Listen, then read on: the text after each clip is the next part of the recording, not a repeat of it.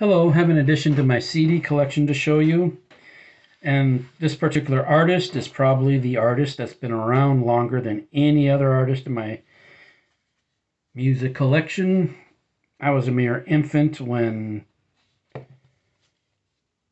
po good portion of their hit songs were hits.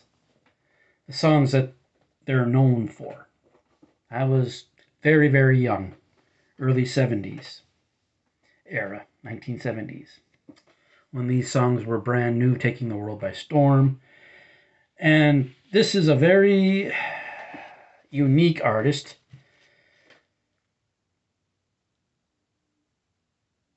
Given the distinction of starting their own new genre, that being shock rock. And the, the name that this artist goes by started off as the name of the band, but now it's the name of the solo artist.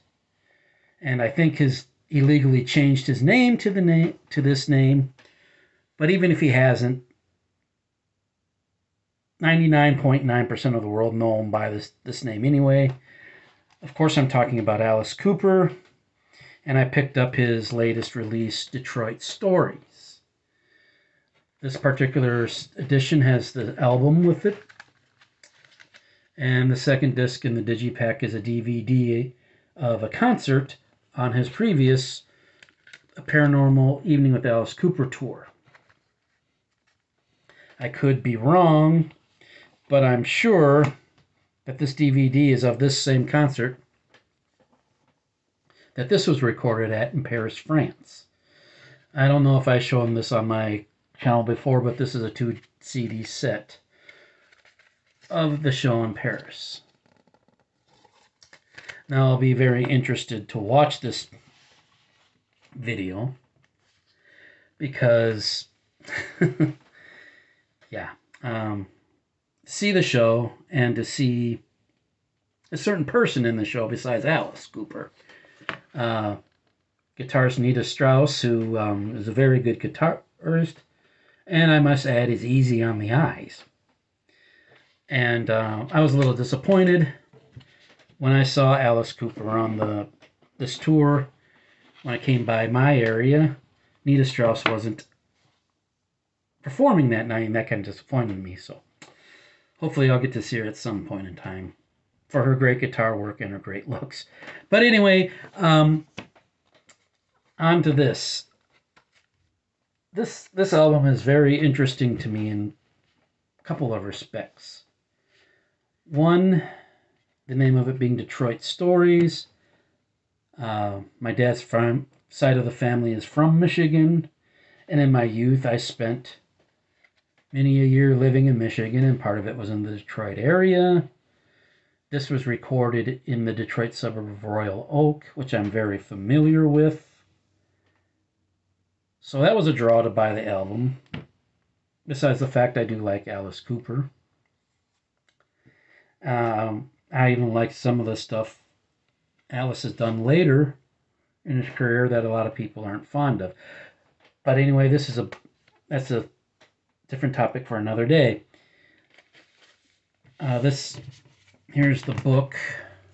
I don't even know if I'm holding it right side up, but I couldn't care less right now lyrics, credits, maybe a photo or two in it. I'll be very interested to take a look, see at this booklet, and see what I can read with my messed up eyesight. I might not be able to read a lot. Now on to the contents of this mess of it of this. My gosh, I cannot talk today. But anyway, on to the contents of the album. I Amazon gave me a free digital copy of this when I ordered this yesterday, and I've listened to a couple of tracks on it. The three tracks I listened to were the lead track called Rock and Roll, track called Detroit City 2021, and the track Shut Up and Rock. The first track I want to talk about is the track Shut Up and Rock. Instantly, I, I, lo- I love this song. Instantly, I love this song because it's a type of song that if I were a songwriter, I would want to write nowadays. It's basically telling musicians, it's geared towards musicians,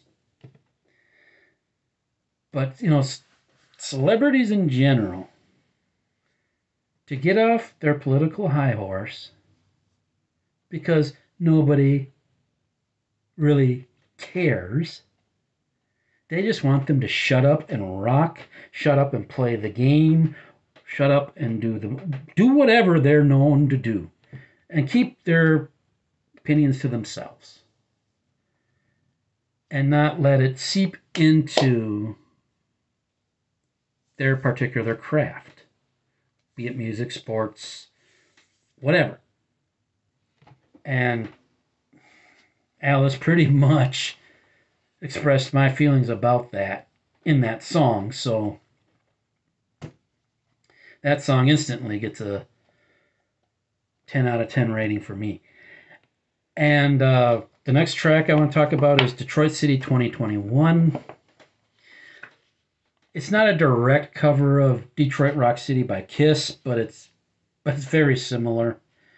Um, it talks, you know, it talks about different parts of Detroit. To you know, talks about the sports team. You know, talks about Detroit certain parts of the town, certain the sports team, excuse me, sports teams, what have you. Good track. Oh, the rock and roll is a basic good rock and roll track, you know, saying she was seduced by rock and roll, you know, that type of thing. So I really in- anticipate listening to the rest of this. Um, I've heard people like Physical Format Rock and Roll channel. He reviewed this gave this a very positive review. And I'll agree with the with the things I've listened to. I'll agree with the one point he made.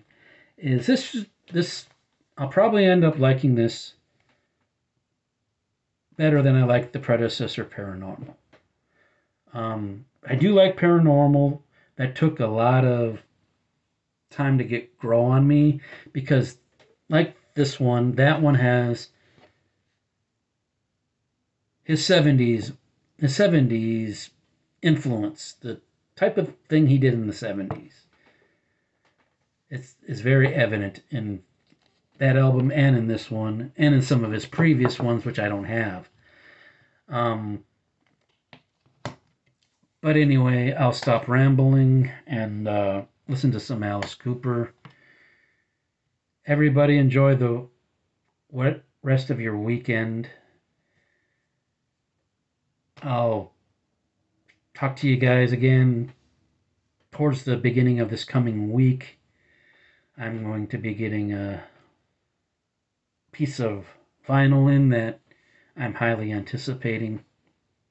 And I'll show you and talk to you about that in my next video. And maybe I can talk coherently in that video. But anyway, till then, enjoy the music.